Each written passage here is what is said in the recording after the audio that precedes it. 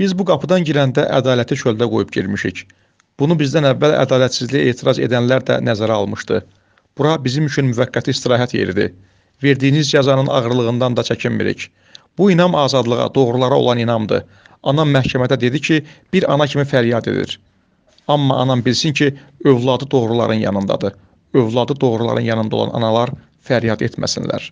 Prokuror 9 il iş istədi, amma 12 il istəyə bilərdi. Bilirəm ki, bu çıxışımdan sonra peşmandır. Prokuror peşman olduğuna görə mən burada şərlənirəm. Bu sözləri ölkədə heykəl məhbusu kimi tanınan, rəsmən isə narkotik vasitələrin qanunsuz dövriyyəsində təqsirləndirilən Nida Vətəndaş Hərəkatının üzvü Qiyas İbrahimov oktyabrın 25-də Bakı Ağır Cinayətlər Məhkəməsində keçirilən məhkəmə prosesində deyib. Hakim Ənvər Seyidovun sədrliyi ilə keçən prosesdə Qiyas İbrahimov son sözlə çıxış edib. O ittihamla razılaşmadığını bildirib. Daha sonra hökm oxunub. Hökmə əsasən Qiyas İbrahimov 10 il müddətinə azadlıqdan məhrum edilib. Qeyd edək ki, ötən iclasda dövlət ittihamçısı çıxış edərək Qiyas İbrahimovun 9 il müddətinə azadlıqdan məhrum olmasını istəyib. Lakin məhkəmə ona 10 il həbs cəzası kəsib. Ə, düzü bu qədər sərt cəzanın veriləcəyini gözləmirdik. Ə, amma 10 il iş verildi. Nida, Nida vətəndaş hərəkatı olaraq deyirik ki, hər zaman Qiyasın yanında olacağıq. Öz son sözündə Qiyas öz prinsipal mövqeyini ortaya qoydu. Sərt danışdı və nə var onu dedi. Hakim bir neçə dəfə onun səsini kəsmək istədi. Bir neçə dəfə dedi ki, sən bu haqqda danışma, bu haqqda danış. Ancaq qiyas prinsipal olaraq dedi ki, bu mənim son sözümdür və mən öz sözümü deyəcəm və öz sözün sona qədər dedi. Sonda alqışlandı və müda olaraq deyirik ki, biz qiyasın yanındayıq və hər zaman olacaq. Mübarizə davam edir. Edir, bəli. Hər zaman davam edəcək. Müdafiəçi olaraq mən çıxış elədim və sonra Qiyas İbrahimov son sözünü dedi və son sözdən sonra məhkəmə hökmü elan elədi. Cəza siyasətini həyata keçirən prokurorluq olmasına baxmayaraq prokurorluğun təklifindən artıq cəza verdi və Qiyas İbrahimov qanunsuz olaraq 10 il müddətinə azadlıqdan məhrum etmə cəzasına məhkum olundu. Məhkəmənin hökmü də e, Konstitusiyanın 127-ci maddəsinin 5-ci bəndində göstərilməsinə baxmayaraq ki, bütün hallarda məhkəmə qərarı açıq elan olunur.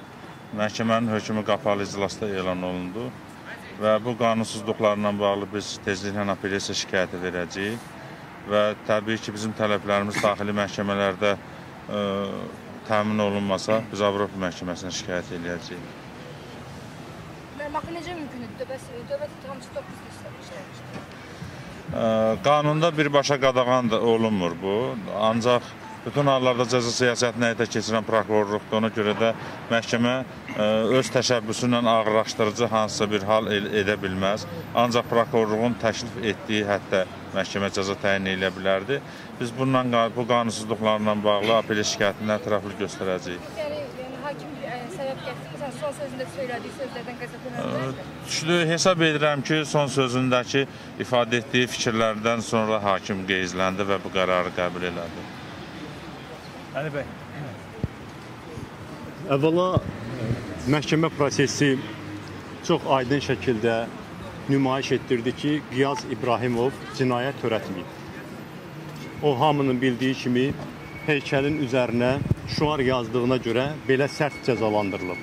Və bu gün hətta prokurorun tələb etdiyindən də artıq müddətə azadlıqdan məhrum edilməsi onu göstərdi ki, rejim Qiyaz İbrahimova çox qəzəblidir özünün son sözdə dediyi kimi Qiyas İbrahimov yazılmış qanunların heç birini pozmayıb, amma sülalə hakimiyyətinin yazılmamış qanunu pozub. Onun əsaslarına, onların istinad elədiyi bütpərəstliyə qarşı çıxış eləyib. Ona görə də onu belə sərt cəzalandırdılar. Qiyas İbrahimov bu gün çox yetkin və cəsarətli son söz dedi. Bunu xüsusi olaraq vurğulamaq istəyirəm. Və bugünkü son sözündən sonra belə qənaət yarandı ki, onun törətdiyi əməl də düşünülmüş bir etirazdır. Qiyas İbrahimov son sözündə belə bir ifadə işlətdi. Dedi ki, mənə deyirlər ki, sən bu əməllə özünü dərin bir quyuya salmısan və bəli, mən etiraf eləyirəm ki, mən özümü dərin bir quyuya salmışam ki, oradakı çirkabları qazıyıb çıxardım və nəhayət suyun gözü açılsın. Çox obrazlı şəkildə ifadə elədi öz missiyasını. Mən elə bilirəm ki, bugünkü məhkəmədə Qiyas İbrahimova qarşı belə sərt cəzanın verilməsi rejimin qorxusunu nümayiş etdirir. Rejim başa düşür ki, yalnız qorxu gücünə o heykəlləri qoruyub saxlamaq mümkündür.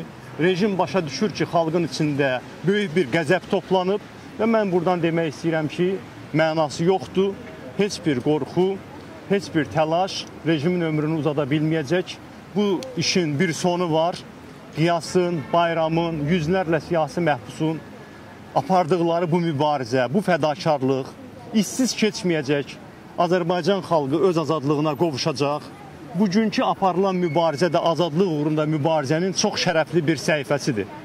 Qiyas İbrahimova da, digər vicdan məhbuslarına da azadlıq tələb eləyirik və sona qədər də tələb eləyəcəyik. Sizi əmin eləyirəm ki, Qiyas İbrahimov hakimin elan etdiyi 10 illik cəzanı çəkməyəcək. Daha tez azadlığa çıxacaq. Sağ olun.